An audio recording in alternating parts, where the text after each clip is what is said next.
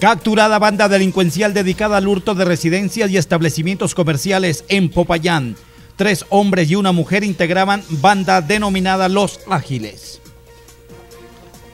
Autoridades verifican autenticidad de panfletos que circulan en redes sociales amenazando a líderes sociales en el departamento del Cauca por parte de las Águilas Negras, dice Rafael Pretel, su director de fiscalías en el departamento del Cauca.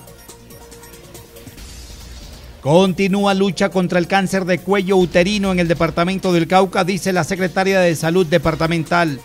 10.000 mujeres serán beneficiadas con recursos del Sistema General de Regalías para la prevención de esta enfermedad.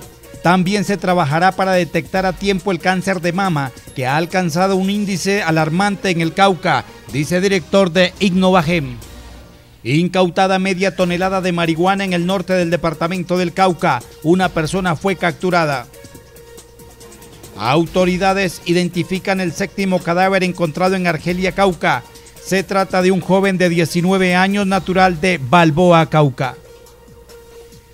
Secretaría de Gobierno y Policía Nacional adelantaron recuperación de espacio público y desalojo de algunas viviendas en el barrio Triunfemos por la Paz. Algunas de estas casas estaban siendo utilizadas para venta de alucinógenos, dice la secretaria de Gobierno Alba Lucía Otero. Invitamos a todos los beneficiarios de Colombia Mayor a cobrar el subsidio de este mes de julio. A partir del 4 de julio al 26 de julio. Cobren en sus puntos habituales de pago. Renuevo lo que dice Evita y lo que dice Darío. A cobrar entre el 4 y el 26 de julio el subsidio de Colombia Mayor.